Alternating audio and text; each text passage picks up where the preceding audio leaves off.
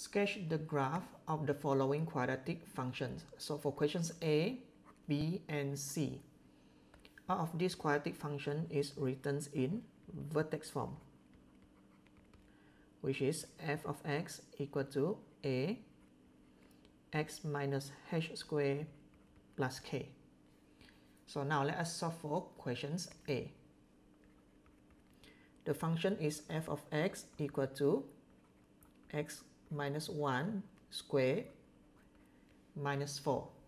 So from the vertex from here, the A is equal to 1. So which is greater than 0. So this is going to tell you the shape of the graph, which is like this. Next, from the vertex form, we also can find the coordinates of the minimum point. So for questions A, the minimum point, the coordinate is positive 1 and the y is negative 4. And this negative 4 is also the minimum value. The other information that you can get is the axis of symmetry as the axis of symmetry is going to pass through the minimum points. Therefore, the equations of the axis of symmetry is x equal to 1. Next, I'm going to expand these quadratic functions. So here you have a square, so it means you have both brackets with x minus 1. So by expanding this, you want to change the vertex form to general form. So here, after expansion, you're going to get x squared minus 2x plus 1 minus 4. Then we're going to solve for the like term. So here you're going to get minus 3. So this is the general form. So the C, which is the negative 3, is the y-intercept.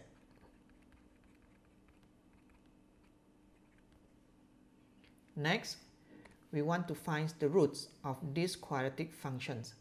But before that, you can determine the type of roots by finding the value of the discriminants for this function which is b squared minus 4ac. So in general form here, the b is equal to negative 2 square minus 4, the a is equal to 1 and c is equal to negative 3. Solve this, you're going to get the answer of 16 which is greater than 0. Therefore, the type of roots for this quadratic function is two different real roots. Which means this parabola is going to intersect the x-axis as two different points. Now, to find the roots, we're going to let the f of x equal to 0. So f of x is equal to x squared minus 2x minus 3 equal to 0. So next we're going to do the factorizations.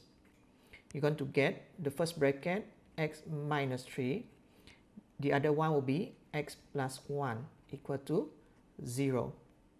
So here x minus 3 equal to 0 or x plus 1 equal to 0.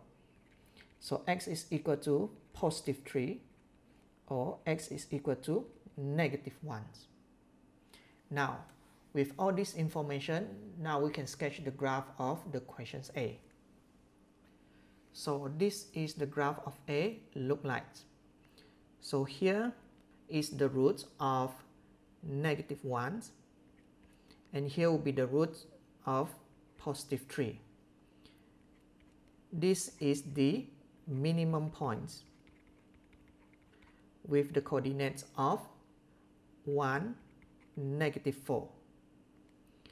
So we're going to have the axis of symmetry with the equations x equal to 1 and the y-intercept is negative 3. Now, by using the same method, you can find the information that you needed to draw the graph of questions B and C. For questions D, E, and F, all of this quadratic function is written in intercept form, which is f of x equal to a x minus p x minus q. So now, let us solve for questions D.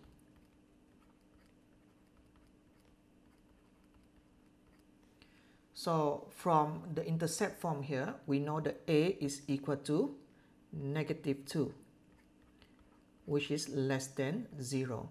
Therefore, this is going to be the shape of the graph. Next, from the intercept form, we can find the roots of the quadratic functions. Now, to find the root, we are going to let the fx equal to 0. Therefore, this x minus 1 is equal to 0. Or this x minus 3 is equal to 0.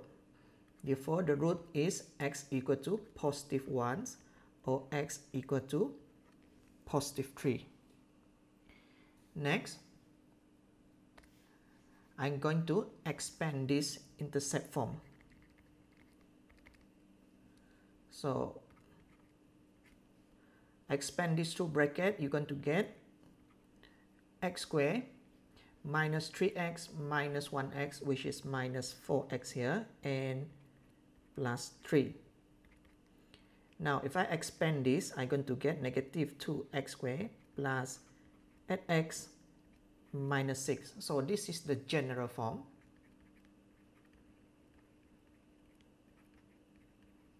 So the C is negative 6, which is also known as the y-intercept. Next, I'm going to find the maximum points of these functions by changing these quadratic functions into the vertex form using the method completing the square. So I'm going to start from here because in this bracket here the a is equal to 1. So f of x equal to negative 2 so we have the bracket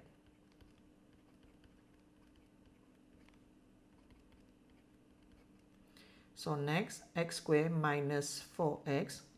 So here we're going to add in the value of b.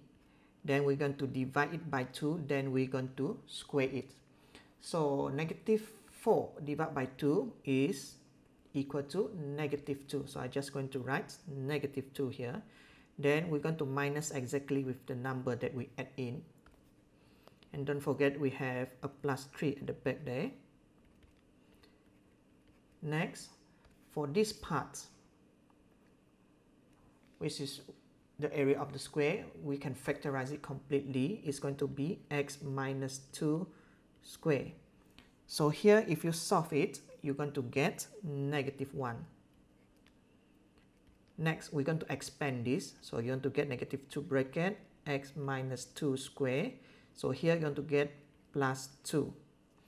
So from the vertex form here, the coordinate of the maximum point is positive 2 for the x and for the y is positive 2 as well. So with all this information now we can sketch the graph of questions D. So this is the graph of D look like. So here is the roots of positive 1 and here is the roots of positive 3 so here is going to be the maximum points with the coordinates of 2, 2.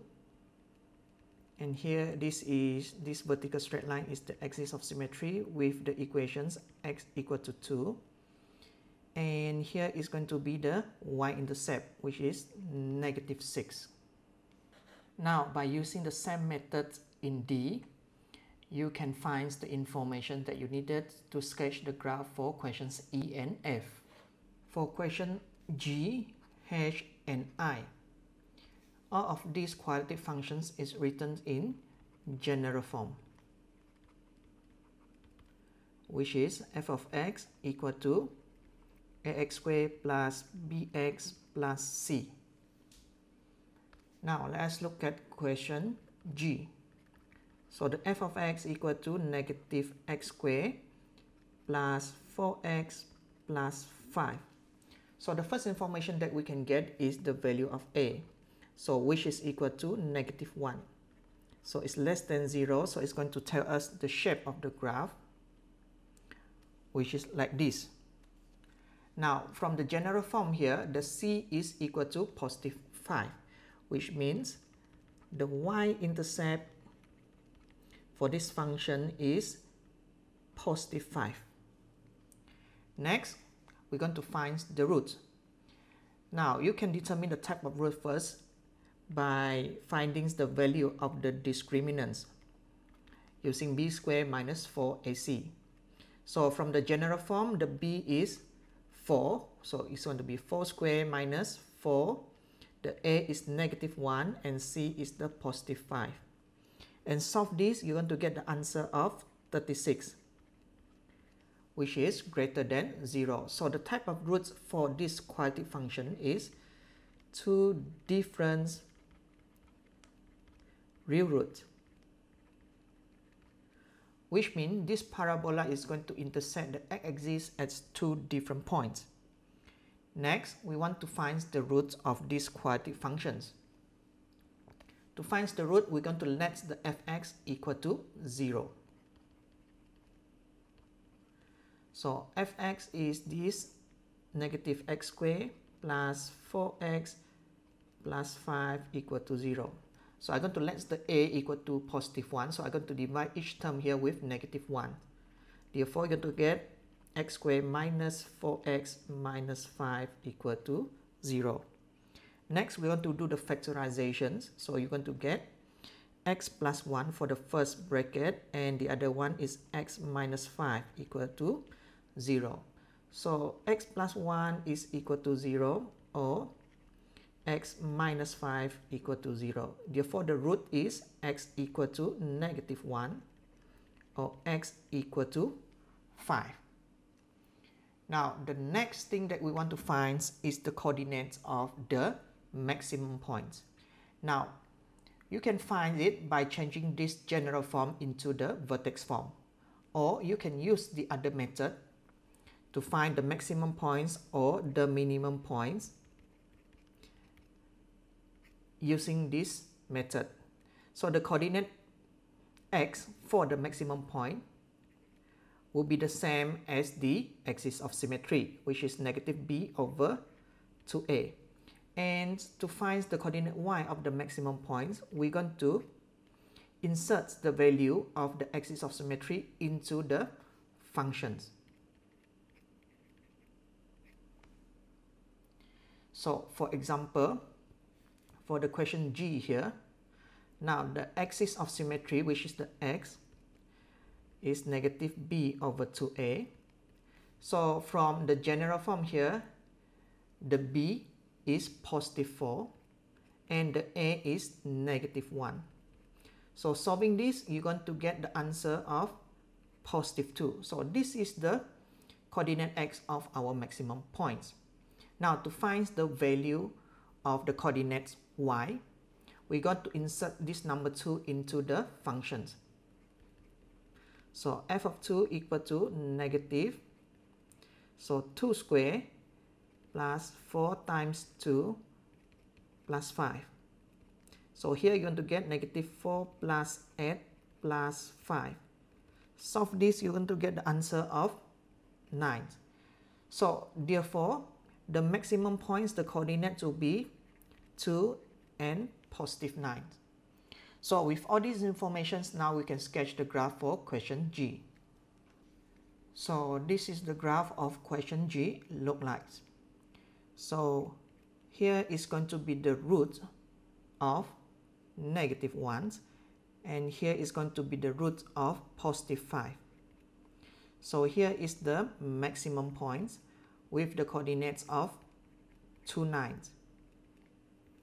So this vertical straight line here will be the axis of symmetry with the equations x equal to 2. So here is the y-intercept with the value of 5. So using the same method, you can also find the information that you needed to sketch for the graph or question h and i.